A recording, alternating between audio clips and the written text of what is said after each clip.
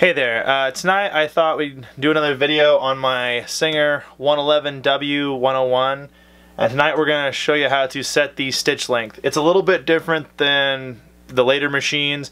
A lot of the videos and information I found out there was for the uh, 151 or the 153 and on those there's a button right here you press and then you turn this wheel.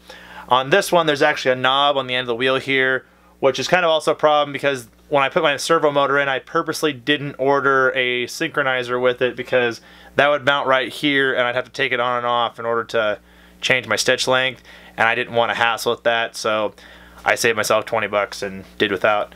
So let me get the camera moved and I'll show you that knob right now. Alright, so here's the knob and this notch moves with the wheel here so you'll have to turn that where you can see it.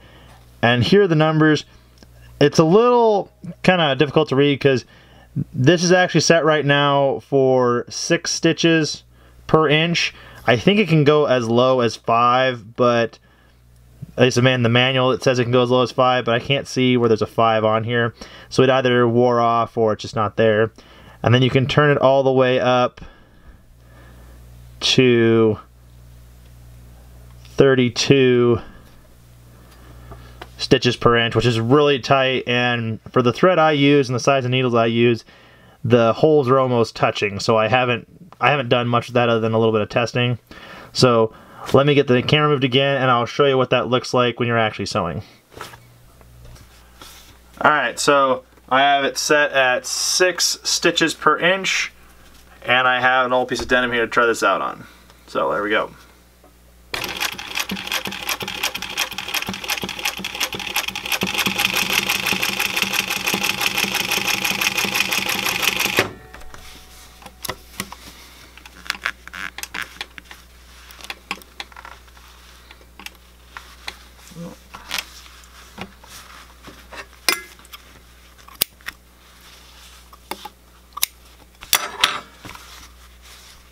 So that's more or less what that looks like at 6 stitches per inch.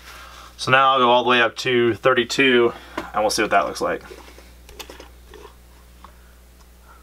Alright, now we're going to try it at 32 stitches per inch.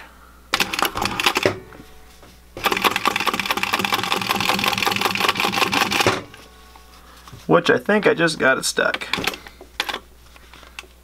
it might be a little too tight for this thread so uh, let me get this unstuck and we'll try a shorter stitch length.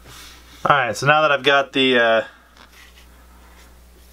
machine cleared out here we're going to try it at 12 stitches per inch to see if that works a little better. This thicker thread I don't think is cooperating with the smaller stitch lengths plus I think I might need to get a little bit bigger needle.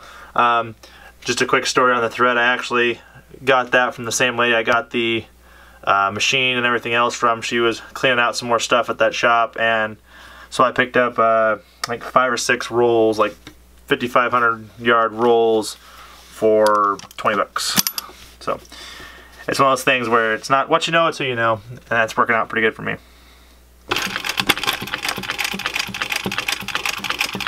There we go.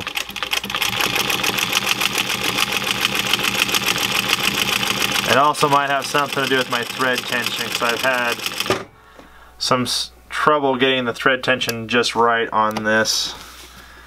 As you can sort of see here, it's not too bad on the back side, but on the top it looks like it's a little loose. Or, yeah, a little loose. So, I'll have to play around with that, but you can see the difference. There's 6 stitches per inch and there's 12 stitches per inch.